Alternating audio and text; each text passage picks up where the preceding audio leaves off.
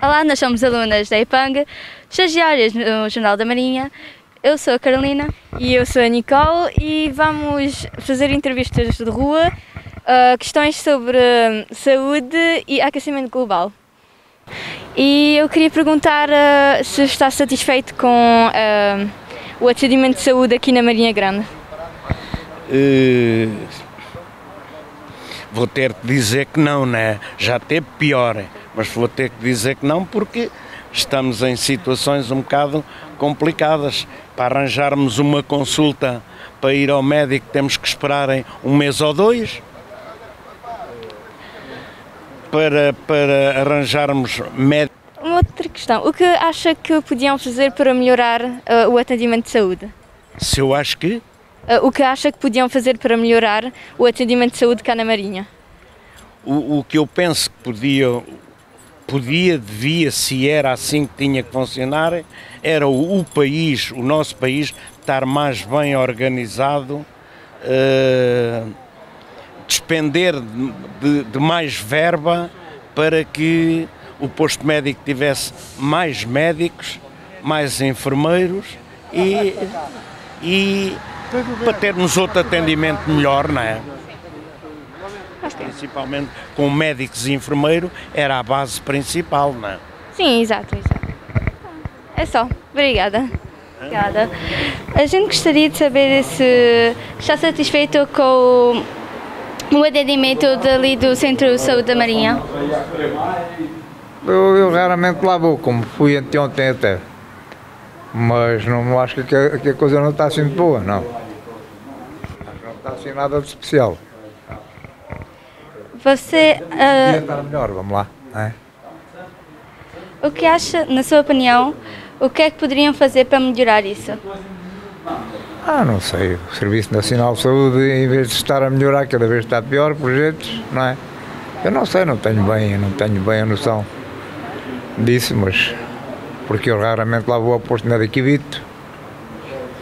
E mais agora, não é? A gente anda toda a gente aqui com medo do Covid, não é? Uh, não se importa de nos dizer porque evita ir lá? Ao centro porque a gente está em qualquer lado. Passa horas e horas e horas e nunca mais resolvem os problemas. A gente, aqui há, há dois meses, dois, dois meses, fui ao Hospital de Leiria, fui para lá às duas horas, vi de lá à quase às 10 da noite.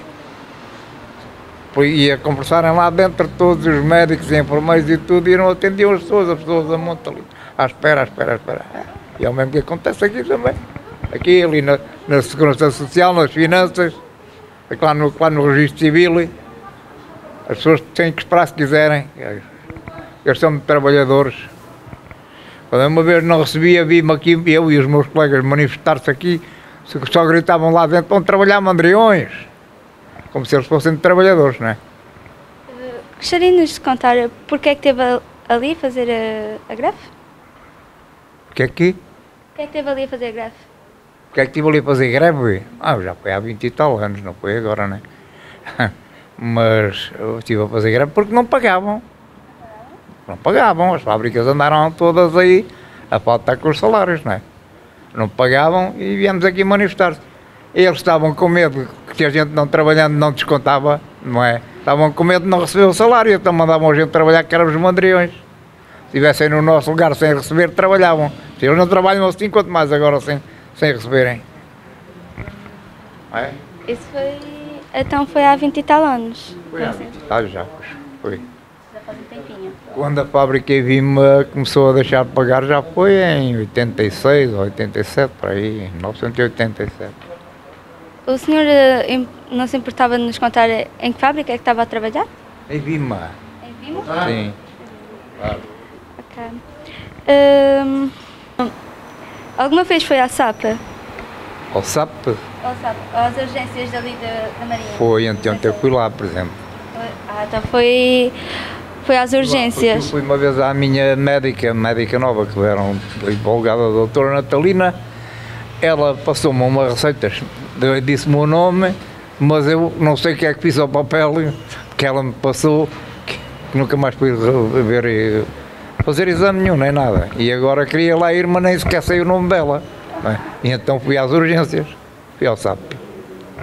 Então, ahm, maioria, minoria de, dos habitantes daqui da Marinha não tem um médico de família. O senhor tem? Minoria, A minoria. eu tenho que, que é para como contei agora, há, uns, há uns dois, três meses deram uma médica que veio para o lugar da doutora Natalina.